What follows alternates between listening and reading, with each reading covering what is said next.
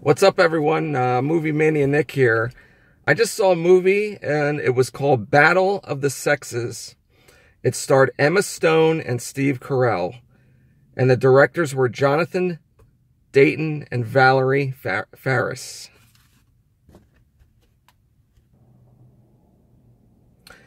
This is a true story of the 1973 tennis match between world number one Billie Jean King and ex-champ and serial hustler Bobby Riggs. All right, so I saw this movie, and to be truthfully honest, it was okay. Um, they're a little. I mean, it was an inspiring story, of course. Don't get me wrong; it was a very inspiring story. Uh, but for some some of the movie, to me, I thought it was kind of boring. Just a little bit. Um, but I like documentaries like this, like documentary movies about true life. Um, you know, Billie Jean King was a woman fighting for woman rights, um, liberal woman rights, and all that stuff. And you know, going going against you know Bobby Rig, Riggs who's a male chauvinist pig, of course. A lot of men were back then, which is, you know, not right at all. Uh, it's all about respect. Respect. But anyway, I did, most of the movie, I did enjoy this. I like how the storyline was. Um, and there was a fact, the fact, there, here's a, here's a fun fact right here. That Billie Jean King, the real Billie Jean King, she was actually on the set of the movie to make sure everything was good and that the story was correct.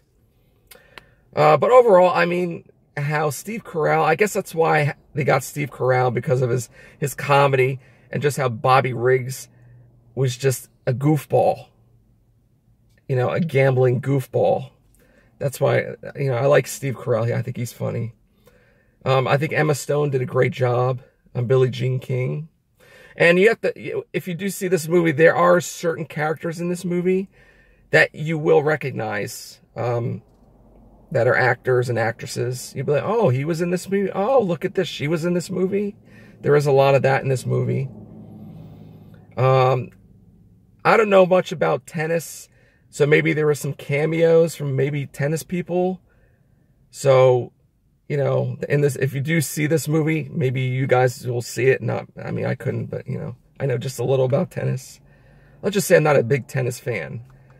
But anyway, um, it was a good movie. I would check it out. Maybe not in a movie theater, but see it on Netflix Demand or something else that's out there. But if you want to spend the money, go ahead and see it in the movie theater. But overall, I I would see this movie. It, I thought it was good. I liked it.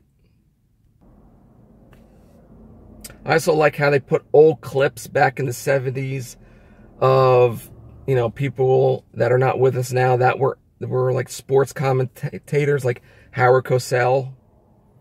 Um, with, the CGI and what they do in the movies, you know, movie magic. I like that part. That was cool. And now it's time for fun facts. In 1973, Billie Jean King was 29 and Bobby Riggs was 55. At the time of the filming, Emma Stone, who was 28, and Steve Carell was 54.